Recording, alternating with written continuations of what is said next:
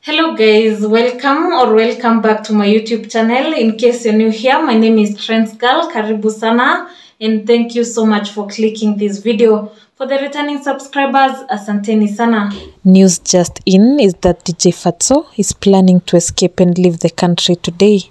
DJ Fatxo has been on the edge for allegedly being involved in Jeff Mwathi's death as the 23 year old died in his apartment.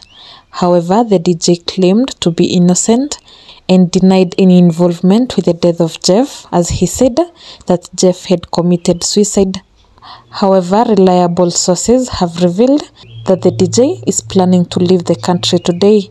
But the question is, why would he be escaping if at all he's innocent, right? Well, Simon Mwangi, a blogger who has been following up closely on the case, took to his Facebook account and this is what he wrote. Jeff atatupea holiday. Kenyans don't want this nonsense. It is an embarrassment to my president William Samoei Ruto.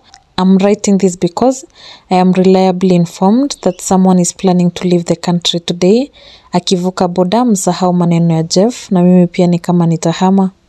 Well, Jeff Mwathi's death has brought an uproar in the country for the last few weeks as Kenyans are demanding justice for his death.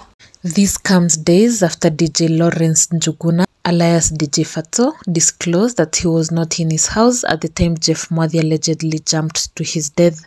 Fatxo explained that he had left his house in Kasarani with three ladies, and when he came back three hours later, he found out that Mwathi was not around. This is what he explained. Later, coming back after a few hours, finding that Jeff was not in the house and others are there, I am actually the one who went with them to the police station to report that Jeff was missing. Well, the Directorate of Criminal Investigations, that is the DCI, have also up- updated Kenyans on the progress of the investigation into Jeff Mwathi's death. The DCI said that they have concluded the first phase of the investigations, which included interviewing the first cluster of witnesses in the case and examining the CCTV that was retrieved at the scene. They continued to say that they are now progressing to the second phase of the investigations, where several persons of interest in the case will be interrogated and appropriate recommendations made before being forwarded to the Director of Public Prosecutions for action.